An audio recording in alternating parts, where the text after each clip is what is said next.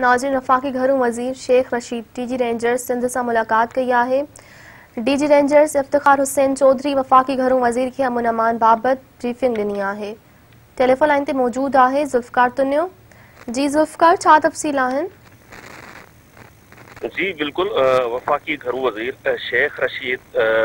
अॼु जीअं कराची पहुतो उन खां पोइ फौरी तौर रेंजर्स हेडक्वार्टर पहुतो जिथे हुन D rangers major general Iftar Hasan Chaudhry सां मुलाक़ात कई। हिन मुलाक़ात में सिंधो घरू खाते जो जेको सेक्रेटरी आहे, उहो सेक्रेटरी शरीक हुयो। हिन मुलाक़ात दौरान डी जी रेंजर वफ़ाक़ी घरू वज़ीर खे सिंध जो जेको अमुन अमान जी मजमूई सूरत हाल ख़ासि करे शिकारपुर वारो जेको सूरत हाल आहे, उन ते ब्रीफिंग ॾिनी ऐं आगाह कयो डी रेंजर्स वफ़ाक़ी घरू वज़ीर त